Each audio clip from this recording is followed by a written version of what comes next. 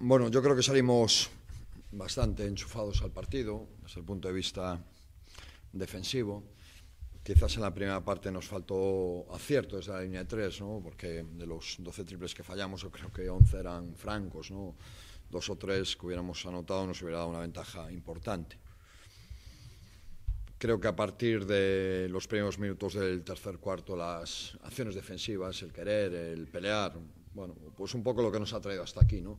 Yo creo que ha sido la, la clave para que pudiéramos recuperar balones, rebotear, correr, anotar con, comodidad y, y romper el partido. ¿no? Eh, le doy mucho, mucho valor a estar muchos puntos arriba en el marcador y que el equipo siguiera corriendo, punteando, defendiendo, haciendo el esfuerzo extra, que yo creo que eso debe ser nuestra, bueno, debe ser y es, yo creo, nuestra seña de identidad.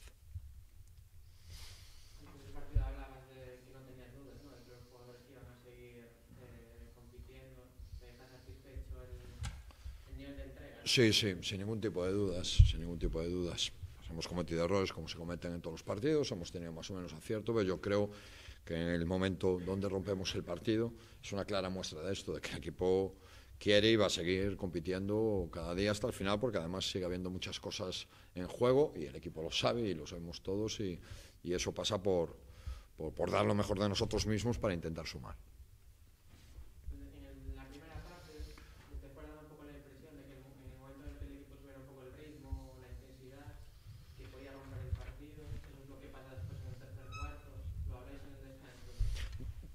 Yo no creo que tuviéramos un ritmo bajo, yo creo que lo, que no tuvimos fue acierto, ¿no? porque hay varias acciones cómodas, un par de triples de, o tres, podríamos decir, de, Alberto, dos de Ben, uno de, uno de Alberto, otro de Matt, tiros francos ¿no? que no metimos, que si hubiéramos metido nos hubiera dado una ventaja eh, más grande. Lo que hablamos fue de que estuviéramos tranquilos, que sigamos jugando igual, que seguro que iban a entrar, como así fue, ¿no? después en el en ese tercer cuarto y que siguiéramos trabajando y, cuidando los pequeños detalles para poder eh, recuperar y correr. ¿no? Y esto fue lo que hablamos, que tuviéramos calma y paciencia, que seguro que acabaríamos metiéndolas, pero que en el aspecto defensivo no bajásemos.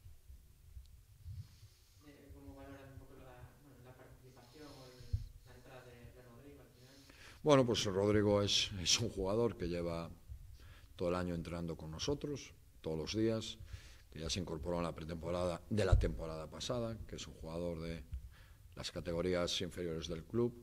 Y bueno, pues me alegro de que hubiera debutado como jugador obradoirista en, en casa, ¿no? Ya lo hizo el año pasado en, Zaragoza, pero bueno, es un premio a su, a su trabajo, a, a una ayuda muy importante para darnos nivel en los entrenamientos, para darnos descansos, para su formación y para que siga creciendo como jugador. ¿Más preguntas?